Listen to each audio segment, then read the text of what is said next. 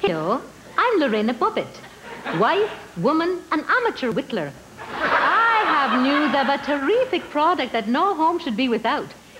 The Lorena Bobbitt Ginsu knife. This state-of-the-art knife will cut through anything, and I do mean anything. It's made from the same fine-tempered steel found in most surgical blades. So, if you're like me and like to slice and dice and cut and sever and hack, this is the perfect tool.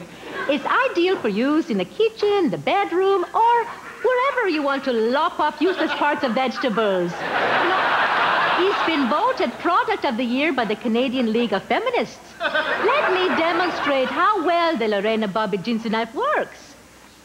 Here's a nice one. A little too big for its britches, I'd say.